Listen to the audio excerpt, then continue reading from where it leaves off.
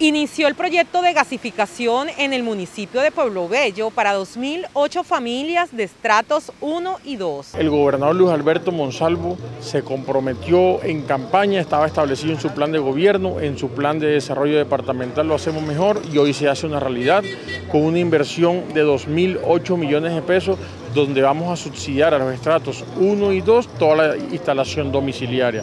Esto es un proyecto que dignifica la calidad de vida de la, población de Pueblo Bello. Es un proyecto que le reduce costos en, su, en, el marco de su necesidad de gas mensual y que al mismo tiempo coadyuva un poco al desarrollo y al crecimiento del municipio de Pueblo Bello teniendo en cuenta todo el potencial turístico y ecoturístico que tiene este municipio. No fue un proceso fácil traer el gas al municipio de Pueblo Bello, necesitaba el compromiso del gobierno del departamento del Cesar, lo hacemos mejor. Hoy quiero agradecer al gobernador encargado, Andrés Mesa, a Luis Alberto Monsalvo, que desde el principio manifestó su intención de acompañar al municipio de Pueblo Bello para lograr este objetivo de gasificar. A propósito, el último municipio del departamento del Cesar por tener este servicio de gas GLP para este municipio que va a llegar a 2.400 hogares y que va a beneficiar a toda la cabecera del municipio. De verdad que estamos muy contentos con este acompañamiento que nos hace hoy la gobernación del Cesar, porque esto va a dinamizar la economía, va a traer más turismo y va a valorizar cada una de las viviendas que tenemos en la cabecera del municipio. Ya un recibo de eso, por muy caro que venga, vendrá por 30, 40 mil pesos, como caro.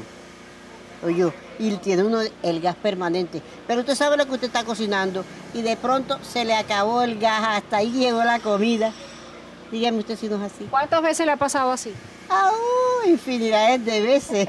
¿Qué ha dejado crudo en el fogón? El arroz. El ICBC es una institución que marca la diferencia. Prestamos servicios como cardiología clínica, cardiología intervencionista, programa de cirugía cardiovascular, hemodinamia, electrofisiología e intervencionismo neurocardiovascular, vascular periférico, métodos diagnósticos destacando cardiología no invasiva, Además, contamos con el servicio de unidad de cuidados intensivos y hospitalización, un equipo humano comprometido en el cuidado y monitoreo de nuestros pacientes, brindando un servicio oportuno según la necesidad. Nuestro lema es Por el corazón del valle. Le ponemos el corazón para el bienestar de nuestros pacientes. Somos el Instituto Cardiovascular del Cesar.